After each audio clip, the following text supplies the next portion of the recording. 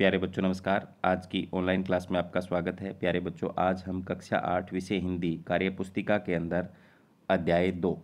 पहले की कार्य पुस्तिका में आपके ये तीन नंबर पाठ है। अब ये अध्याय दो हो गया है। पहले वाला जो था वो कट गया था। इसकी वजह से दूसरा पहला हो गया था और तीसरा दूसरा हो गया तो इस पाठ का नाम है बस की यात्रा। वो हम करने वाले हैं। तो जो बच्चे चैनल पर नए हैं या जिन बच्चों ने अभी तक चैनल को सब्सक्राइब नहीं किया, सब्सक्राइब कर ले, अपने साथियों को शेयर ज़रूर कर दें। तो शुरू करते हैं आज की क्लास। तुम्हारे गाँव शहर में आने जाने के कौन कौन से साधन हैं? तो बस, जीप, कार, मोटरसाइकिल, रेलगाड़ी, ऑटो।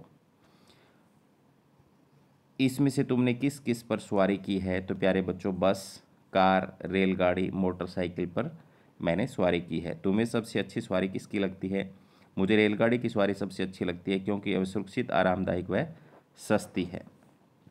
तुम बस की यात्रा कब करते हो? जब मुझे दूर की यात्रा करनी होती है तो मैं बस की यात्रा करता हूँ। पाठ में लेखक ने बस के कई, लिए कई विशेषण प्रयोग किए हैं। समूह बैठकर अपने साथियों के साथ उन विशेषणों की एक सूची बनाओ। वेवर्ध नई नवेली, दयनीय, फ़र्स्ट क्लास वृद्धा डाकिन।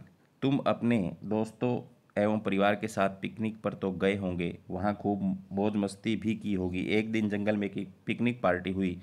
चित्र को देखकर अनुमान लगाओ कि यह पार्टी कैसी रही होगी।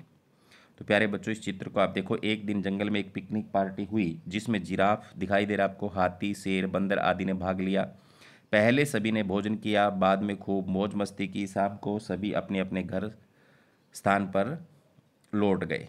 इस आदमी के साहस और बलिदान भावना का सही उपयोग नहीं हो रहा। इस पंक्ति में रेखांकित शब्द किसके लिए आया है? तो इस आदमी के साहस और बलिदान भावना का सही उपयोग नहीं हो रहा। तो कंपनी के हिस्सेदार के लिए आया है ये। क्या तुम अपने घर कभी बस या वाहन के खराब होने के कारण देरी से पहुँचे अगर हाँ तो घर पहुँचने पर तुम्हारे साथ क्या क्या हुआ? इसको अपने शब्दों में लिखो। एक बार मैं दिल्ली से शाम छः बजे अपने घर सिरसा के लिए चला, किंतु रास्ते में बस खराब हो गई, जिस कारण मैं अपने घर तीन घंटे देरी से पहुँचा। सभी सदस्य मेरे आने को लेकर बहुत चिंतित थे। लेखक को छोड़ने आए लोग बस में बैठने की तुलना किससे कर रहे थे? तो मृत्यु से कर रहे थे, क्योंकि बस की दशा बहुत दयनीय थी। पाठ की शुरुआत के अंत तक लेखक ने बस के बारे में जो बातें बताई, उनमें से जो तुम्हें अच्छी लगे वो लिखो। क्या रास्ते में डाकू मिलते हैं? नई बस डाकिन है। बस अनुभवी है। नई नवेली बसों से ज़्यादा विश्वसनीय है। हमें बेटों की तरह प्यार से गोद में लेकर चलेगी। जैसे सारी बस ही एक इंजन है और हम इंजन के भीतर बैठे हैं। झील दिखती है तो सोचता हूँ कि कई बस इसमें गोता न लगा जाए। सीट की बॉडी से ऐसे योग चल रहा था, क्यों?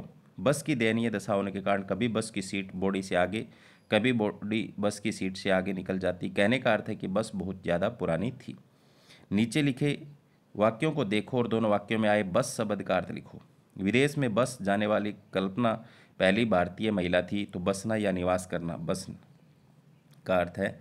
अब बस भी करो हेडमास्टर ने डांटते हुए कहा तो बस भी करो का अर्थ है, यहाँ पर रोकने के अर्थ में है। नीचे दिए गए वाक्यों का उदाहरण देखो। जिन शब्दों के नीचे लाइन लिखी है, उनमें से एक ही एक एक वाक्य और बनाओ। वह टायरों की हालत जानते हैं, फिर भी जान हथेली पर रखकर इसी बस में सफ़र करते हैं। तुम्हारा वाक्य क्या होगा? परिश्रम सफलता की कुंजी है, फिर भी तुम परिश्रम नहीं करते हो। आगे यदि को लेकर बना, यदि नानी कुछ और कर रही होती तो नाना घर को सिर पर उठा लेते। तुम्हारा वाक्य यदि कौरवों ने आधा राज्य कौरवों को कौरवों ने आधा राज्य पांडवों को दे दिया होता तो इतना भयंकर महाभारत का युद्ध न होता। पहले स्कूल का काम खत्म करो, फिर नानी के घर की बात। तुम्हारा वाक्य होगा? पहले अपना घर कार्य पूरा करो, फिर खेलने की बात करो। इधर छुट्टियाँ शुरू होती है, उधर नानी के घर जाने की तैयारी होने लगती है। तुम्हारा वाक्य होगा, इधर बारिश शुरू होती है, उधर पकौड़े बनाने की तैयारी शुरू हो, होने लगती है। तो आज की क्लास में इतना ही। धन्यवाद।